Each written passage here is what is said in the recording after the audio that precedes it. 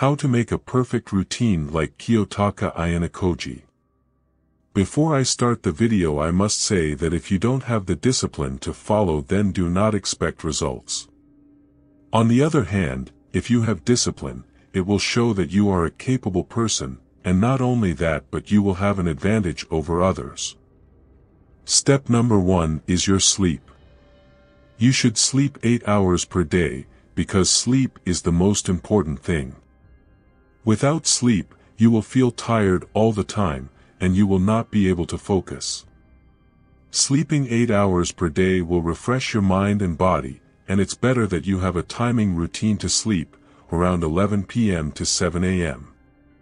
Step number 2. You should stay clean all the time.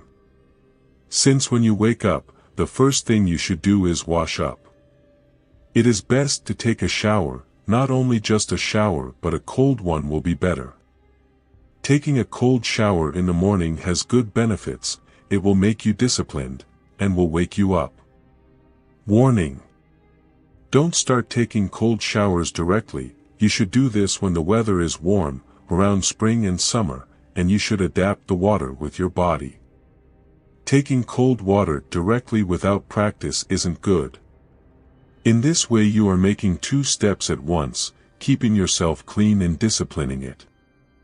Ayanokoji stays clean from head to toe no matter the situation. Step number 3. You should eat something light and go for a walk, Ayanokoji does this every day.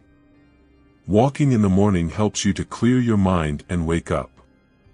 After taking a walk your mind will feel more clear, and you will feel better and more energized. Early exercise is good for your body. Step number 4. You should never skip your meals. Food has a great effect on your body, it comes from your strength to your thinking. Without eating you will feel tired, and not only that, it will affect your brain as well. Think about going to a store to buy with your stomach empty, you will think about buying many things, but when you are full your mind will focus on the things that you need to buy. Even though it doesn't show much in the anime, we all know that Ayanokoji doesn't skip his meals. Step number 5 is that you should read and learn.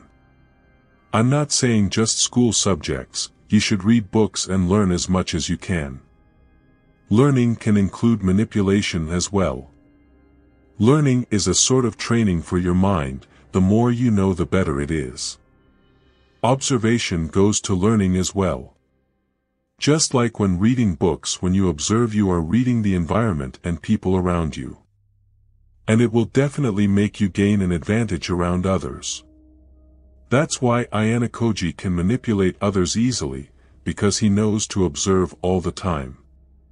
He never said he knows enough, he always adapts and learns.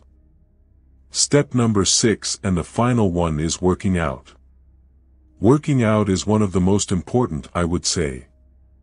Having a healthy body will definitely benefit you, not only that but you will be strong as well.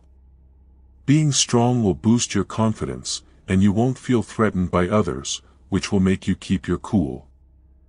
Ayanokoji works out daily, and I don't think he ever skips his training. You should do the same. Working out means learning self-defense as well.